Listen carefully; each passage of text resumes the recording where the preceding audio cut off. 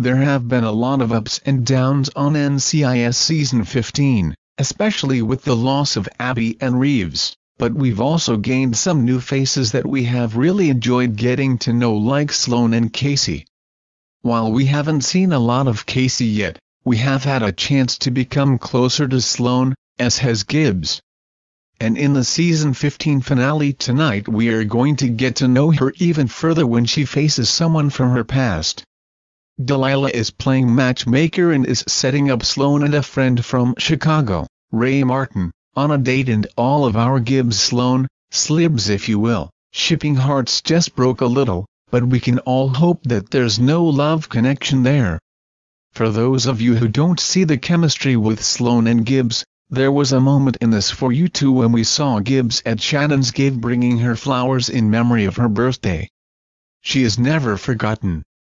We know that Sloane was held hostage and tortured years ago in Afghanistan and she has thought all this time that this person was dead, but now it seems that he is in D.C.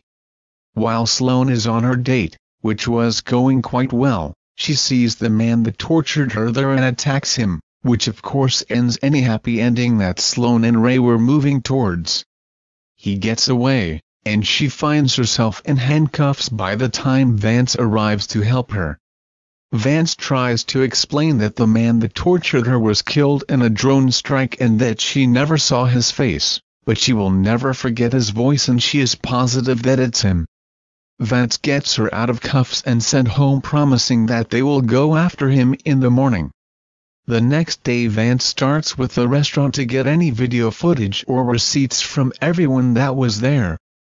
After running facial recognition they figure out who he is and he's a humanitarian under the umbrella of diplomatic immunity. Sloane asks Vance just for the opportunity to hear his voice again to make sure and he finds a way to arrange it. During the interview with him Sloane loses her cool, especially when she smells his cologne and now is convinced that this is the man.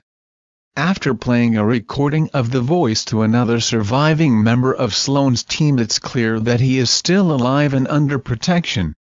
Seeing Gibbs and Sloane bonding over their past was something we were really touched by.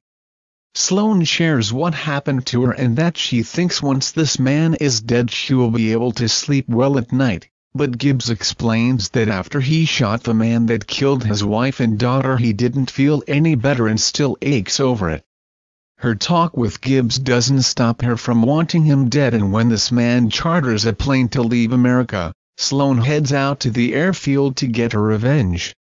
Gibbs gets there in time to stop her, but the plane was a decoy and this man is gone but he's not alone.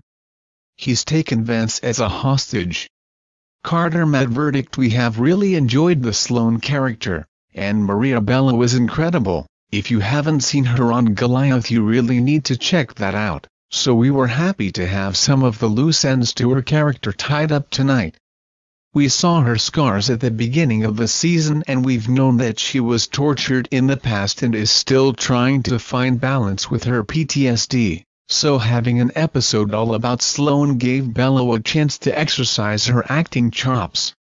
What did you think of the NCIS Season 15 finale and did you like the season overall? Leave us a comment in the box below with your thoughts. If you want to stay up to date with all of our NCIS scoop then be sure to join our official Carter Matt Facebook page.